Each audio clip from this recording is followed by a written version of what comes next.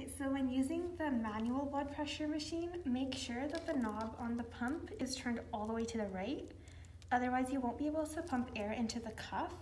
And the meter gauge here allows you to see how much air you have pumped by seeing how high the number gets. To hear the pulses on your participant, use the stethoscope. Make sure that the prongs or the earpieces on the stethoscope are facing forward not backwards, when inserting into your ear and double check that the stethoscope is turned on by twisting and tapping. If you hear the tapping sound, that means that obviously it is turned on. Otherwise, if you don't hear the tap, you will not be able to hear your participant's pulse. Okay.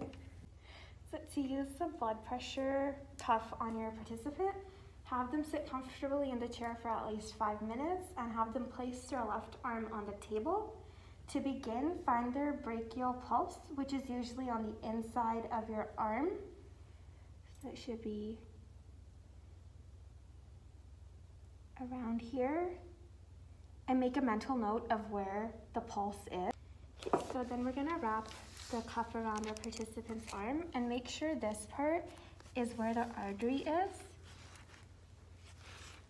And we're gonna wanna wrap it snug, but not too tight. We just wanna make sure it does not slip off of our participant's arm while we are trying to take their blood pressure. So this is fine.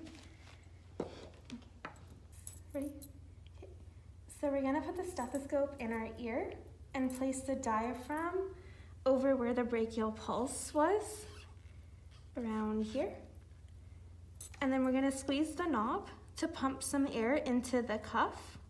Okay, so we're gonna pump air into the cuff and bring it up to at least 200 millimeters of mercury. And then you're gonna stop pumping. And in order to let some air out, turn the knob a bit to the left.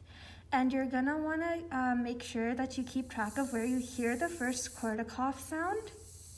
That is gonna be your systolic pressure. So I hear it at 100, and then you're gonna see the meter bounce for a bit, and take note of where you stop hearing sound. For me, it is around 55, and that is your diastolic pressure